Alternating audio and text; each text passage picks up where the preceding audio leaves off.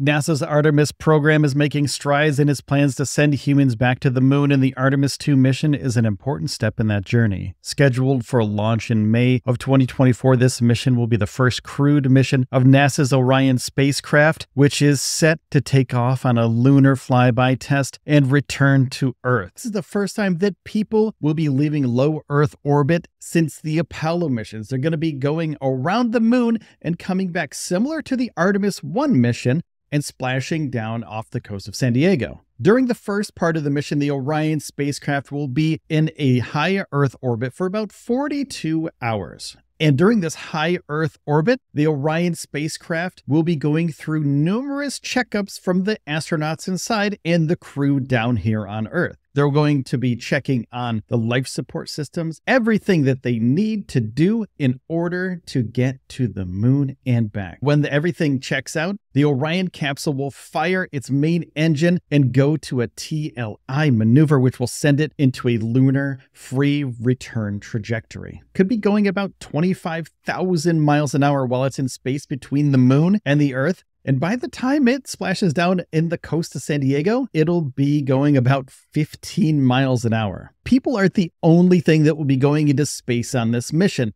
There's the NASA CubeSat Launch Initiative, the CSLI, and they've sought proposals in 2019. And these CubeSats will be secondary payloads on the Artemis 2 mission. We're not sure exactly what these payloads are going to be at this time, but they will be launching these payload CubeSats out of the stage adapter with spring loaded dispensers after the Artemis mission launches and the SLS rocket separates from the Orion capsule. And according to NASA, the Artemis 1 Orion spacecraft has returned to Kennedy Space Center. On its way to Kennedy Space Center, the Orion space capsule was transported by tractor trailer. It is transported in a very durable protective case for the whole ride to Kennedy Space Center. And there's a reason for this. It protects the payload inside the capsule, the capsule itself, because this thing is basically full of science and full of engineering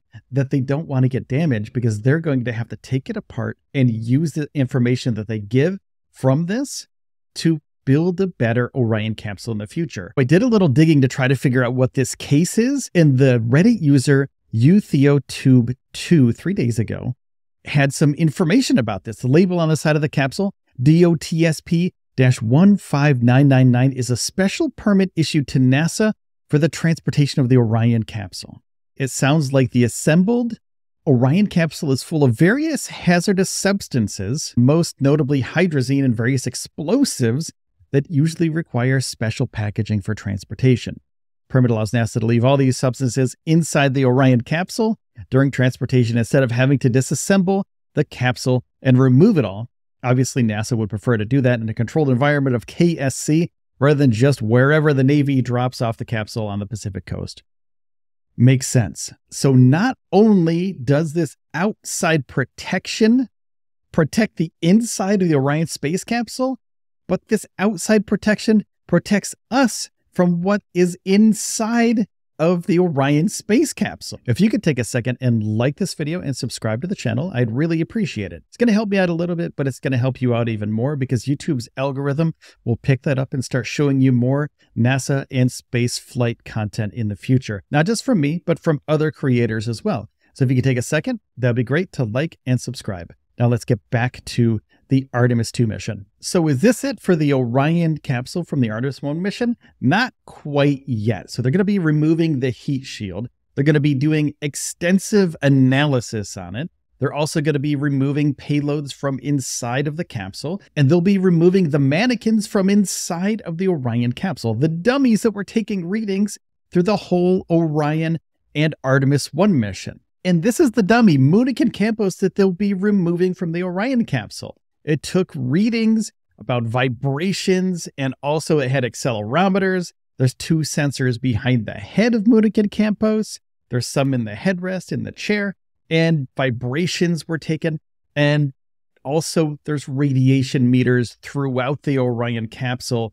Lockheed Martin has designed and built the Orion spacecraft for the Artemis 1 mission and also has numerous Artemis missions in the future that they'll be building the Orion spacecraft for. Now, for the Orion 1 Artemis 1 mission, they're going to be using the same avionics from 1 for the Artemis 2 mission. So they're going to have to rip out the avionics, parts of the avionics from Orion 1. They'll be using that in the Artemis 2 mission. So this will postpone the Artemis 2 mission a little bit of time, not a lot of time, and they will have to go through extensive testing to get them ready for the Artemis 2 mission. And NASA and Lockheed Martin have been working diligently for the last few years to get the Orion 2 spacecraft into production and get it to a place where it will be ready to launch in time for the Artemis 2 mission.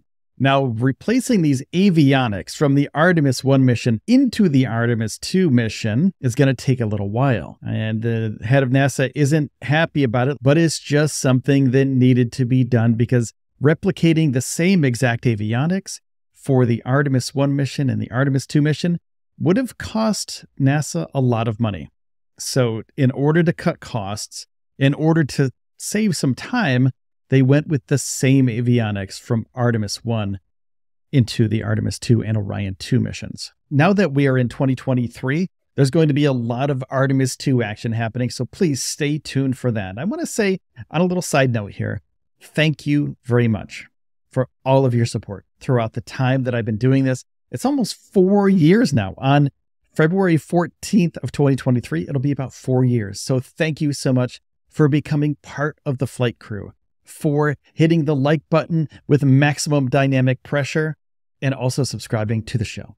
You are amazing, and I could not have done this without you. I'm going to continue bringing you Artemis mission updates and also Starship updates, NASA updates, and spaceflight updates in the future. So thank you again. I appreciate every single one of you, and I love you all. Take care of yourselves and each other, and I'll see you in the next one. So, uh, hey, yeah, you're still here that's pretty cool. I'm super excited about 2023. I got some links over there. And if you want to click them, that would be great. There's Artemis updates from last year, from 2022. And this is the first like full video I did of 2023. So I hope you're excited about it. I hope you're excited about 2023 because there's going to be some really cool stuff. And like I said before, super happy that I'm here to continue doing this because I love spaceflight and I love doing this. So, uh, yeah, if you want to click those links, that'd be cool. Watch another video. I'd greatly appreciate it. And I think that's it. It for today.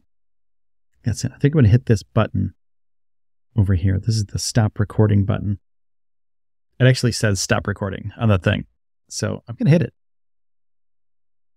That's a that's the face I make when I hit stop recording like this. Because I'm sad. I'm sad that I have to stop recording.